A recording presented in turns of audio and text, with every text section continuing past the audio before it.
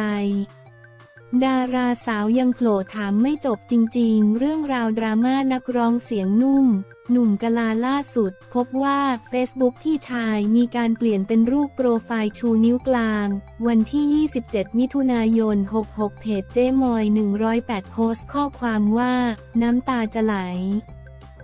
ที่ชายนักร้องเสียงนุ่มเขาชูนิ้วกลางสงสัยเขาชมกูกับแฟนคลับว่าเยี่ยมจริง ๆ เยี่ยมจริง ๆ ด้านนักแสดงและพิธีกรหญิงสายฮาตุ๊กกี้สุดารัตน์หรือตุ๊กกี้ชิงร้อยเข้ามาคอมเมนต์แซวถามด้วยว่า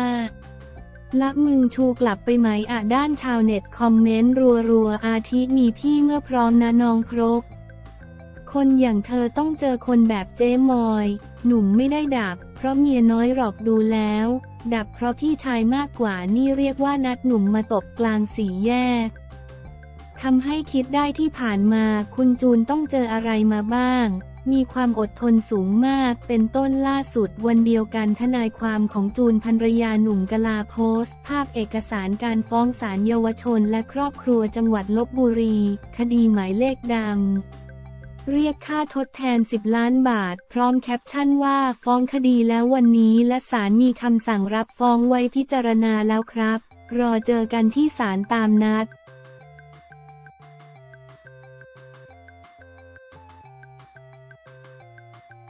มาแล้วเลขเด็ด ทิทา ใบหวยกลางเวทีงวดนี้ออกแน่แห่ซื้อเกลี้ยงแผงสมุทรสาครมาแล้วเลขเด็ด ทิทา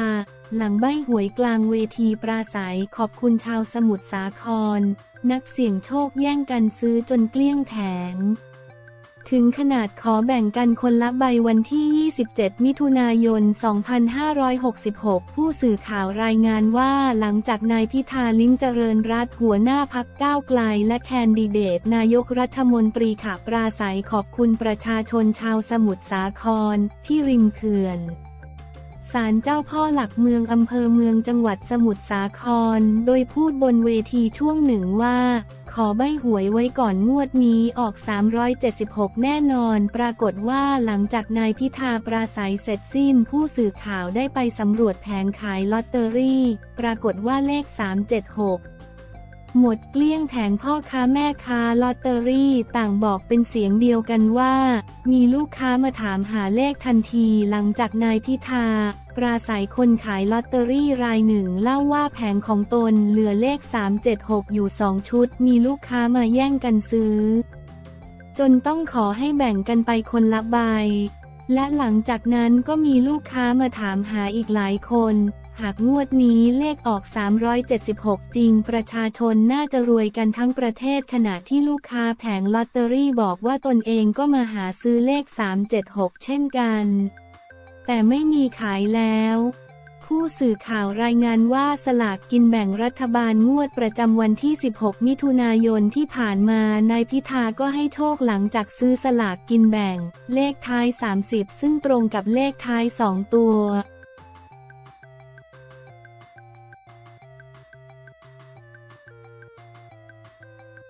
โบกี้ไลออนเคยคิดสั้นถึงขั้นอยากดีไซน์การตายด้วยตัวเอง โบกี้ไลออนเคยคิดสั้นถึงขั้นอยากดีไซน์การตายด้วยตัวเอง โรคจิตเวทรุมเร้าเคยถูกซ้อมชีวิตผ่านอะไรมามาก จนต้องถ่ายทอดออกมาเป็นบทเพลง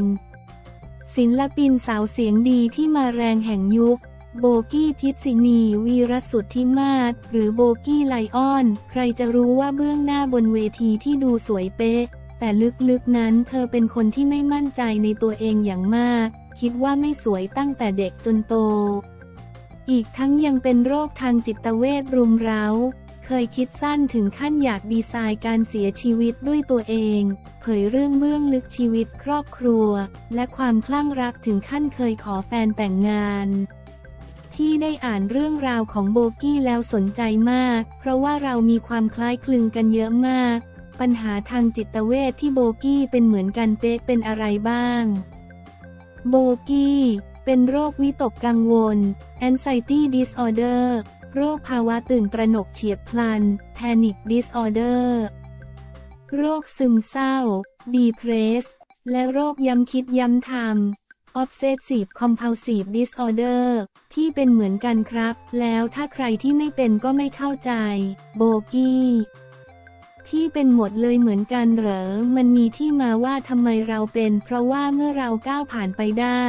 เราจะสามารถแบ่งปันทุกเรื่องเลย ของโบกี้มันเริ่มจากตัวไหนก่อน โบกี้ จริงๆ เริ่มจากอาการนอนไม่หลับก่อน คือไม่สามารถพูดได้ว่าอันไหนคืออันแรก เพราะจริงๆ น่าจะเป็นมาตลอดชีวิต แต่ไม่รู้ว่าสิ่งที่เป็นมันคือโรค โบเป็นคนแบบว่าชอบซื้อของไว้เยอะๆ สมมุติชอบอะไรอย่างหนึ่งก็จะย้ำอยู่แต่แบบนั้น เช่นวันนี้ฉันจะซื้อสบู่ในหัววันนั้นก็จะคิดซื้อสบู่สบู่จะกดสบู่ไปเรื่อยๆ ซื้ออีกอีกทำให้อะไรก็ตามสบู่แปรงสีฟันยาสีฟันแม้กระทั่งต่างหูเสื้อผ้า จะมีซ้ำกันมากกว่า 10 ชิ้น ก็เราคิดว่าสิ่งนี้ปกติถ้าน้ำมันหมด หมดของคนอื่นอาจจะมีใกล้หมดจริง ๆ ขีดแดงแต่หมดของโบคือเกินครึ่งถังแปลว่าหมด คือเป็นคนค่อนข้างล่วงหน้า อันนี้ก็คิดว่าเนี่ยอาจจะเป็นข้อดีของเราไหม เพราะว่าเราเป็นคนล่วงหน้ามากๆ แล้วก็เตรียมพร้อมไว้กับสถานการณ์ทุกอย่าง แต่ความจริงมันไม่ใช่มันเป็นโรค แล้วก็เรื่อง depression ภาวะซึมเศร้า ก็ไม่ได้คิดว่าตัวเองเป็นหรืออะไร แต่ก็รู้สึกว่าตัวเองเป็นคนไม่มั่นใจในตัวเอง เห็นคุณค่าในตัวเองต่ำมากไม่สามารถหาข้อดีของตัวเองได้ตั้งแต่เด็กจนโต แล้วก็เวลาขึ้นเวทีส่องกระจกทีไร รู้สึกไม่สบอารมณ์ตลอดเลย เพราะรู้สึกว่าทำไมเราน่าเกลียดอย่างนี้ ตั้งแต่เด็กจนโต หาข้อเสียของตัวเองเจอตลอดเวลา เราอาจจะคิดว่าเราร้องเพลงได้แต่ว่าเราก็ร้องเพลงไม่ได้ดีขนาดนั้น บางทีอาจจะคิดว่าเราสวยแต่ว่าเราสวย เพราะเราแต่งรูปอะไรแบบนี้ มันจะหาข้อโต้แย้งมาตลอดบวกถึงเรื่องการอยู่คนเดียว แล้วมีความรู้สึกแบบการคิดสั้น ไม่รู้ว่าเรียกว่าคิดสั้นได้หรือเปล่า อยากดีไซน์การเสียชีวิตด้วยตัวเองอะไรแบบนั้น รวมถึงอาการแพนิคก็คือกลัวอะไรบางอย่างอย่างรุนแรง เช่นกลัวตัวเองเข้าโรงพยาบาลกลัวตัวเองป่วยแล้วก็อ่อนไหวกว่าชาวบ้านจะเกิดอาการเมื่ออยู่ในที่แคบเข้าไปในลิฟต์แล้วติดลิฟต์บ้าง หรือเข้าห้องน้ำแล้วเปิดประตูไม่ออก anxiety กับ panic แยกกันไหม เพราะว่าสำหรับที่มันคลับคล้ายคลับคลาว่าจะเป็น anxiety ก็ต่อเมื่ออยู่ในสถานการณ์ที่รู้สึกว่าควบคุมอะไรไม่ได้ แต่ panic อยู่ดีๆ ก่อนหน้านี้มันมาโดยที่พี่ไม่รู้ตัวของเราเป็นแบบไหน โบกี้สำหรับโบไม่ได้คล้ายขนาดนั้น แต่ก็มีตัวเชื่อมกันแอนไซตี้จะมาในชีวิตประจำวันโบเลย ตั้งแต่เด็กจนโตโดยที่ไม่สังเกต สมมุติวันนี้โบล็อกกรงหมาแล้วโบก็ออกจากบ้าน แล้วทั้งวันจะคิดอยู่แค่ล็อกกรงหมาหรือยัง ทั้งๆ ที่มันเห็นว่าล็อกแล้ว ซึ่งวิธีแก้ก็คือซื้อกล้องวงจรปิดมาดูเลย แต่บางทีมันก็ยังไม่ความไม่เชื่อตัวเองอยู่ มันอาจจะเชื่อมกันหมดเลย ก็คือโรคอาจจะเป็นจิตเวชประเภทเดียวกัน แต่ว่าอาจจะมีความแตกต่างกันในลักษณะการเจอ น่าจะมาจากความไม่มั่นใจในตัวเอง ว่าได้ทำสิ่งนั้นสำเร็จจริงหรือเปล่าก็จะมีความย้ำคิดย้ำทำกับอะไรเดิมๆ เช่นดูกระจกตลอดเวลา ซึ่ง character การส่องกระจกบนเวทีไม่ได้มาจากความอยาก fierce หรืออะไรทั้งนั้น มันมาจากความที่โบไม่สามารถรับได้จริงๆ คือไม่คิดว่าตัวเองสวยอยู่แล้ว ถ้าเลือกได้อยากเลือกเวทีที่มันเป็นกระจกรอบด้านในทีมผู้จัดการของโบมีอยู่สี่คน ต่างคนต่างก็จะมีหน้าที่พิเศษ เราก็จะเชื่อใจเขา เพราะว่าเราเชื่อใจคนอื่นมากกว่าตัวเอง ลองย้อนกลับไปคิดในวัยเด็กหรือยัง ว่าน่าจะมีเหตุการณ์อะไรบางอย่างที่เกิดขึ้น ที่ใครบางคนอาจจะบอกเราว่าเราไม่สวยพอเราไม่ดีพอเราไม่ใช่พอจะนึกออกไหม โบกี้ มีเยอะมากมีทั้งสถานการณ์ในครอบครัว ไม่แน่ใจว่าที่บ้านอาจจะวางแผนมีลูกคนเดียวหรือเปล่า แล้วเราดันเป็นอีกคนที่ออกมาแล้วเราก็เกิดก่อนกำหนด มีความบกพร่องหลายๆ อย่างทางร่างกาย แล้วเราเองก็หน้าตาไม่ได้น่ารักตั้งแต่เด็ก ความไม่มั่นใจทางร่างกายก็อาจจะมีความพิเศษนิดหนึ่งก็คือ เคยโดนคนที่บ้านซ้อมตอนเด็กแล้วก็ทำให้ขาลาย เรื่องนี้ไม่ค่อยได้เล่าที่ไหน เพราะว่าตัวเองก็ไม่ได้โฟกัสเรื่องนี้ ไม่ได้อยากเรียกร้องความสงสารหรืออะไร เพราะมันผ่านมานานแล้ว แต่ว่าเราเพิ่งถูกคิดได้ตอนโตว่าสิ่งนี้มันคือการซ้อม แล้วก็ร่องรอยตามขาตามตัวของเราที่ไม่มั่นใจในทุกวันนี้มันก็เป็นส่วนหนึ่งในชีวิต แผลบางอย่างทั้งทางร่างกายและจิตใจมันก็เป็นแผลเป็นมาถึงตอนโตเนอะ แล้วรู้สึกว่าก่อนหน้านี้สักประมาณ 2-3 ปีโบไม่ใช่ โบกี้ไลออนแบบนี้โบเป็นคนที่ทำผมทรงเดิมๆคือฟูฟูสิงโต แล้วเสื้อก็จะใส่แบบเดิมๆกับกางเกงเอวสูง คือจะเป็นคนไม่ใส่กางเกงขาสั้นหรืออะไรสั้นเลย เพราะรู้สึกว่าหลังก็ต้องปิดเพราะมีรอยสิว ส่วนขาก็จะมีร่องรอยแผลเป็นเยอะมาก บางอย่างที่มันช้ำมันก็ช้ำอยู่อย่างนั้นมาจนโตบางสิ่งที่มันหายไปแล้วบางทีก็อยู่ในใจเนอะเรารู้สึกว่าตอนนี้เรามีข้อบกพร่องหลายอย่างในตัว แล้วเรามองเห็นมันด้วย เราก็รู้สึกว่าปิดเถอะโมเมนต์ไหนบนเวทีที่ทำให้เรารู้สึกฟิน โบกี้ ทุกตอนเลย บางวันหนูรู้สึกว่าชีวิตไม่ค่อยมีความหมายเท่าไหร่ มันมีช่วงหนึ่งที่หนูรู้สึกว่าทำงานทุกวัน มันเป็นจุดที่ไม่ว่าเราจะขึ้นไปสูงเท่าไหร่ ยิ่งรู้สึกว่ามันอ้างว้างเหลือเกิน มันไม่ได้มีครอบครัวที่คอยภูมิใจในตัวเราขนาดนั้น เหมือนรู้สึกว่าวังเวงมากๆ นี่เราทำอะไรอยู่ แต่พอขึ้นเวทีไปความรู้สึกดาว เศร้าหรือนอยทุกอย่างหายไปเลย แค่ได้ยินเสียงคนที่มารอดู พูดแล้วอาจจะดูเวอร์แต่ว่าทุกครั้งที่รู้สึกว่าไม่อยากอยู่บนโลกนี้ อย่างเดียวที่ยึดโบไว้ที่นี่คือ อยากตายแต่เสียดายจินตนาการเสียดายที่จะส่งต่อความรู้สึกของตัวเองผ่านบทเพลงให้คนอื่นต่อไป เสียดายที่จะอดฟังเสียงคนดูที่ร้องเพลงที่เราแต่งขึ้นมา โบรู้สึกขอบคุณโรคต่างๆ เหมือนกันนะ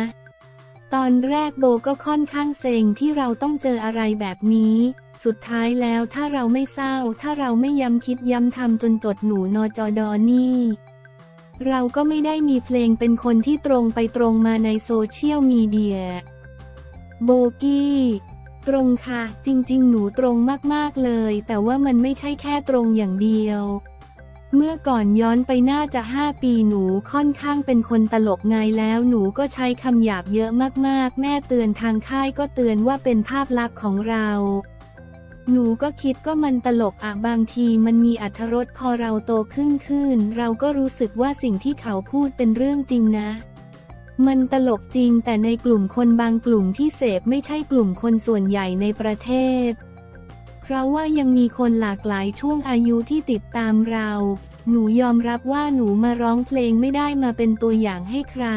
การกระทำมันก็เป็นส่วนของการกระทำ แต่ผลงานก็เป็นอีกส่วนหนึ่ง ซึ่งเราก็ไม่ได้เอาคำหยาบไปใส่ในผลงาน สุดท้ายการอยู่ตรงนี้ก็ยอมรับจริง ๆ ว่าทุกคนบนโลก ถ้าเขาชอบศิลปินหรือมีใครเป็นต้นแบบเขา เราก็ควรจะประพฤติตนให้มันเหมาะสมและวุฒิภาวะที่หนูอาจจะยังไม่ค่อยมี ตอนนี้ก็ดีขึ้นมากแล้วค่ะ